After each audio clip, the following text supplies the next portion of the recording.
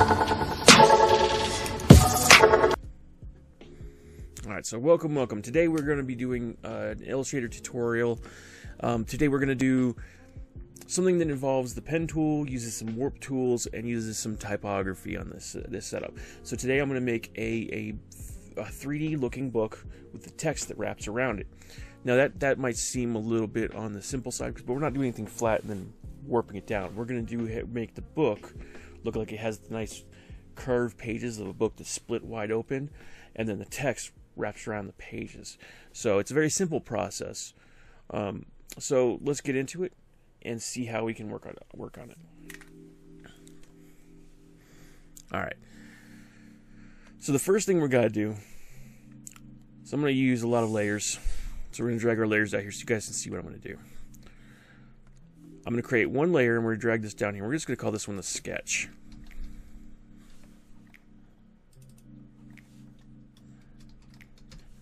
because this lets us know what we're going to do, how far we're going to take it down. It's not going to be too far down either, or on the, on the line of um, the processes. And then we're just going to use this one. We're, we're only going to use two layers today. I lied. So today we're going to work with um, this one just being the actual drawing. Um, like everything else, lock down the layer you're not going to be using. Layers are, are, are fun and essential. They're sort of like having like uh, separate uh, Photoshop layers, but each one is a folder full of that artwork. So it's nice. It's it's it's a little bit different in, in, in Illustrator. All right, so with this, I'm not really too worried about uh, what the sketch looks like too much, so we're not going to use any sort of custom brushes as I sketch this guy out here. So what I want to do is we're going to have one nice clean line there we go.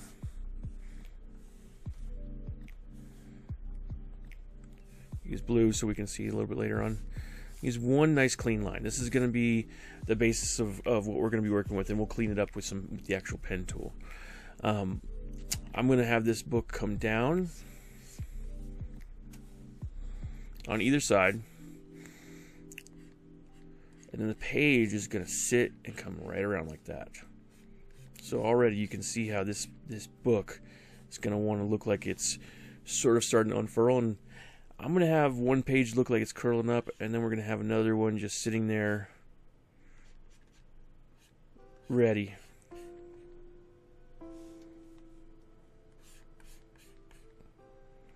Just like that. And this one's to come around just like that right up into that into that edge. We'll figure that out in just a second. And then, of course, we need to have the actual cover. That's to come back.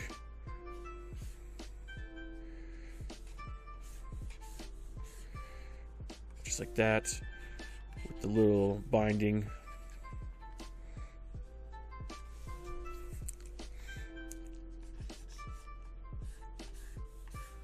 Something like that. We're not going to go too far into this because we're gonna we're gonna be drawing this out in just a second. So this is my sketch. This is just the basis of what we're gonna go with. So we unlock our drawing our uh, layer. We're gonna pull out the pen tool,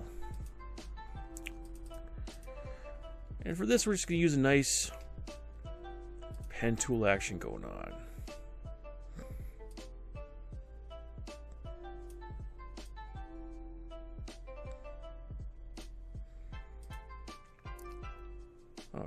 Gonna go right about there.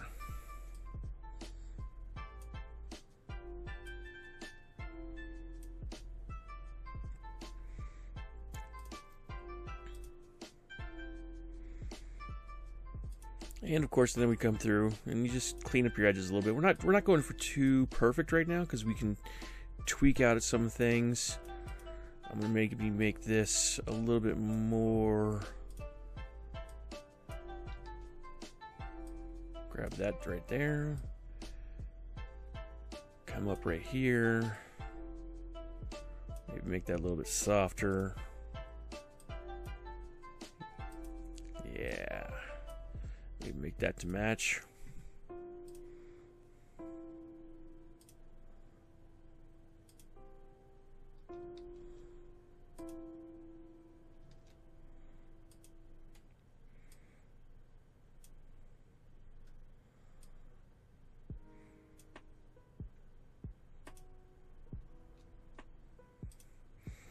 All right. And then, just in case that's visible, we're going to do that.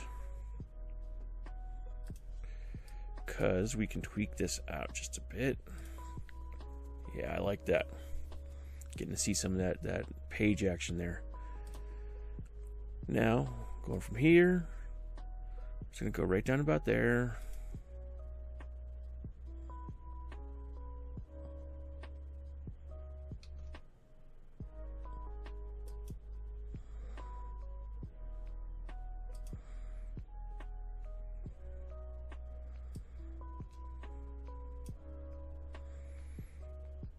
Right there.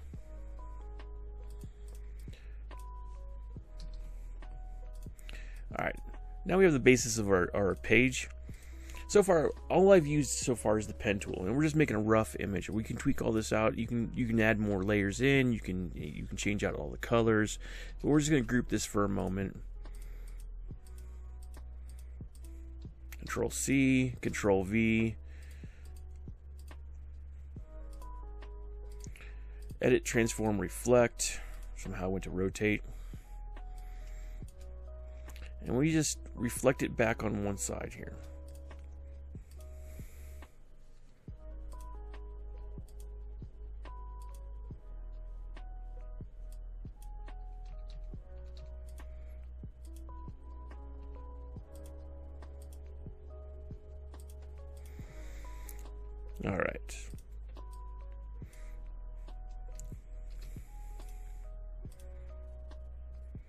Like a lot of things. This right now is pretty rough.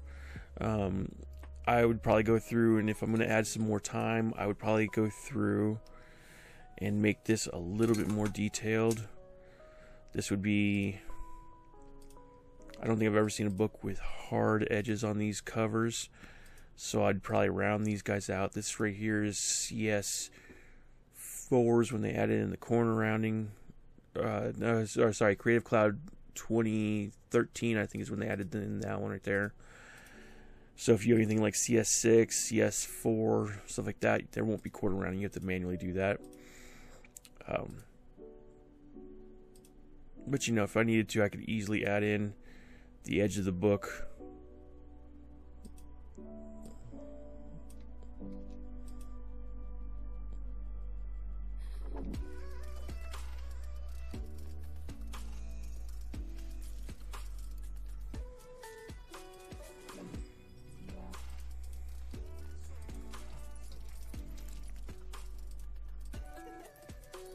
So the more time you add into the actual drawing time, the more obviously that this can really start to stand out.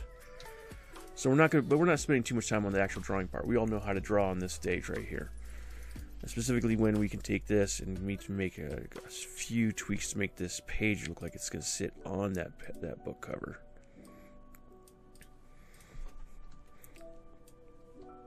All right, but we're going to group this guy out real quick. So we have this this image right here, um, and it's now set for the text. Formatting text onto a page is sometimes a daunting task when you're trying to make it match it all up here. But there's a simple couple simple steps we can do. So I'm just going to use a stencil font because that's what the one that comes with the system, and we'll use this for the example because it's a nice clean one.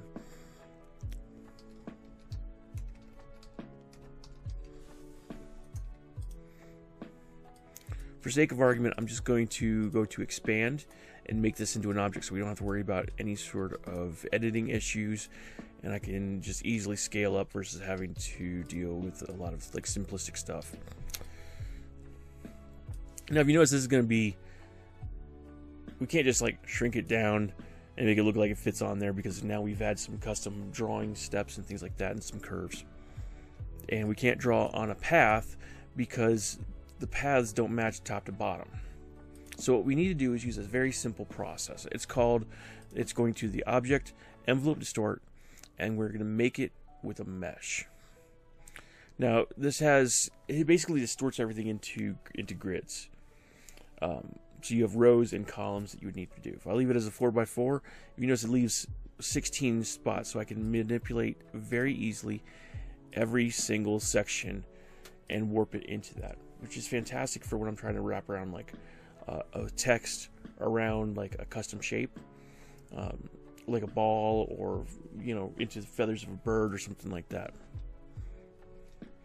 But what we need to do is go a little bit more simplistic than that. When we go to the mesh, we just need to have a one by one. It's not, not anything crazy. You can even preview it and see that there's only the corners where the warp mesh is. And so when you use your white selection tool, you'll see that there are little distort grids like you would normally see right up in here. With a little bit of time and a little bit of manipulation.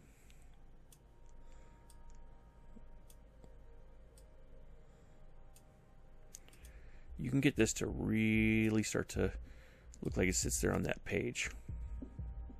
And we're not talking like a whole lot of time either. This is this is what a couple seconds, and we're already starting to get some some nice clean movements of that. So if you have a whole body of text that you need to make it look like it sits there on this page, you can pre-lay out the page however which way you see fit, and then just start to add it in as you need it.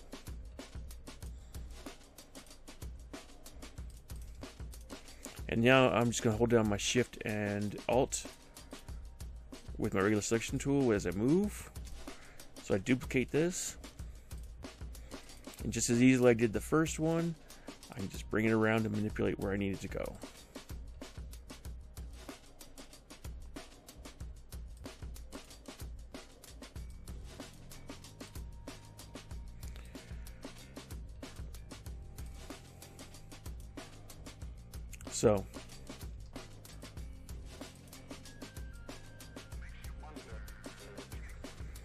Now you might be wondering what how do I need to what do I need to do if I need, or need to change this or make it into an object because right now the warp it, it's sort of dependent on a few things. It, it, doesn't like to to to be played with uh, outside of there. If I have pre-existing text, I can leave it as an editable text and then and then just change it as I need to. Um, but if you need to, just take this guy when you're all done. Go to Object, Expand. And then that page is set up for just on that work. Take these guys. I'm going to just make the stroke a little bit bigger. Round out the corners.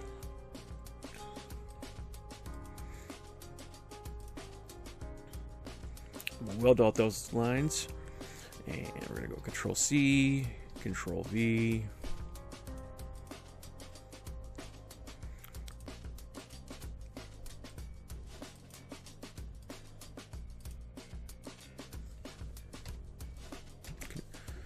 Shift Control 8. Shift Control Alt 8. Uh, so we can break everything down together.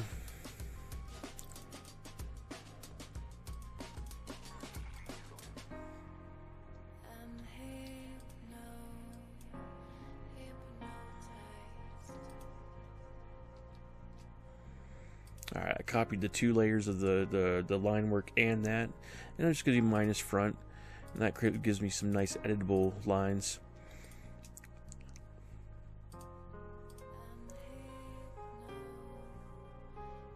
Alright, so for this, I think we need to go to a gray, to a white, right about there, and then back to a little bit of gray.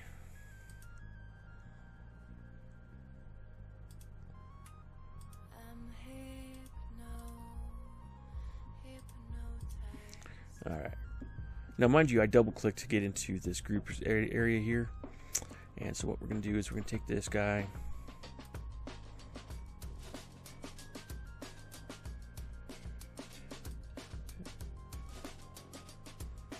Yeah, something like that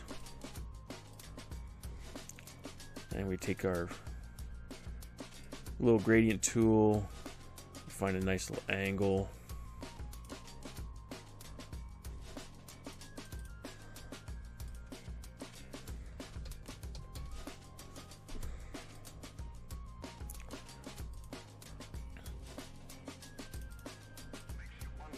These two parts are going to be darker, so we're going to make this guy, uh, uh, say about that dark. Right about there. I'm to do this guy's as white. And then the edge of the book, the binding, let's just make that, oh, let's just go, go red.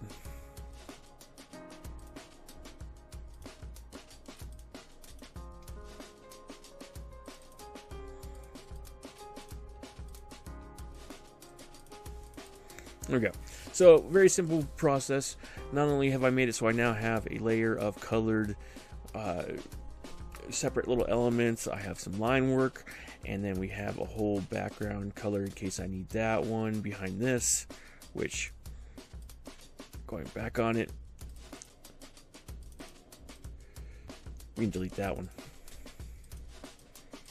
So, I have a whole background area there in case I need to go simplistic. I've got warped text. I have I, we've gone over warping of text. We've gone over converting of text. We've gone over drawing. We've gone over how to uh, basically make a line work into a colored element really fast, and all in the span of a couple minutes. So, if you guys have any questions, comments, or anything like that, if you notice I've just used only two layers, um, take this idea, run with it I want to see what you guys come up with. If you guys come up with something fun, I'd love to see the the the text that you put on top of a book, and let's make it work. All right, you guys have a fantastic night.